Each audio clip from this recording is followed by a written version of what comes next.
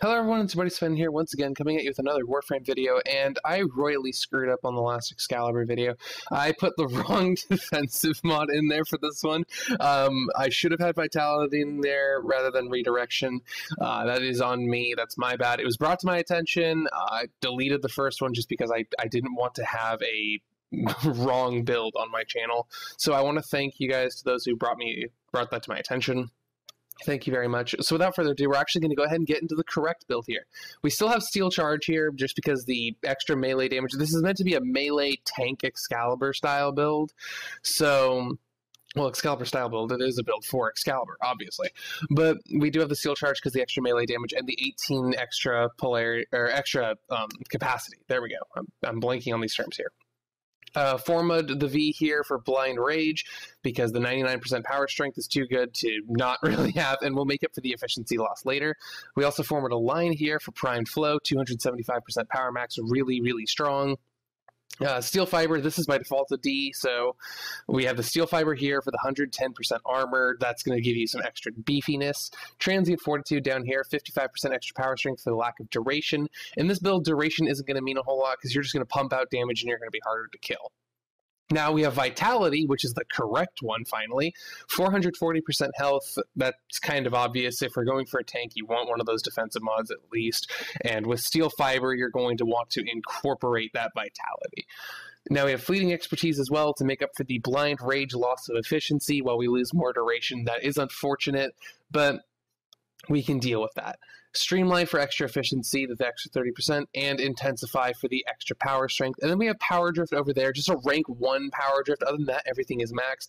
I only have the spots to actually just put one rank on Power Drift, but it beats using another format. I feel like 3 is already pretty beefy for Excalibur, so and that's not a knock against Excalibur. I just think that three form is kind of ideal for him. Now let's go ahead and get to the nitty gritty. 740 health rather than the 740 shield I had in the previous. So 300 shield on this one, 740 health, 425 power, 30 shield regen a second, 472 and a half armor, one sprint speed.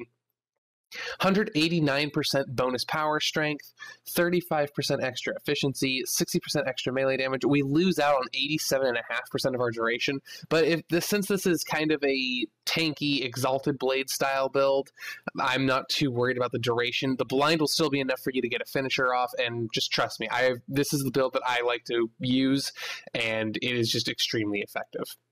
You also have a 10% chance to resist knockdowns, which is always fun.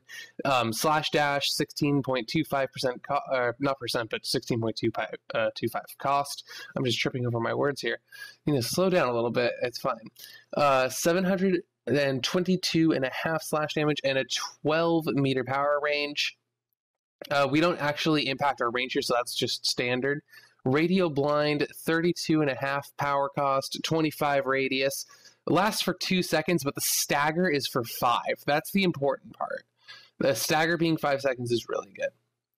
Radial Javelin, 48.75 on the cost, 963.3 of the damage types, 25 meter radius, and 12 javelins. And then Exalted Blade. This is the big one. 16.25 to activate, 13 per second, but 240.8 on the three damage types.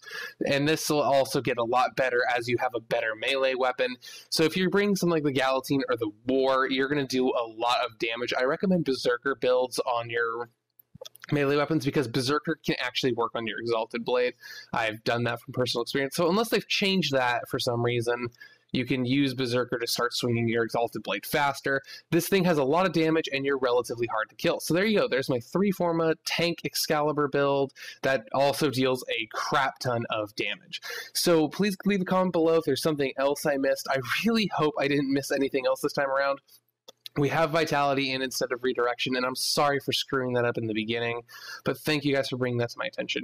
If you like what you saw in the video please leave a like down below. It helps out so very much. And if you want to see my warframe videos every monday through thursday hit the big red button down below. Subscribe to my channel. We're only six away from a thousand everyone.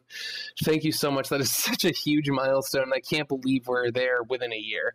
That's really exciting but anywho enough gushing about that. This has been sven. I'll see you on the next video. Take care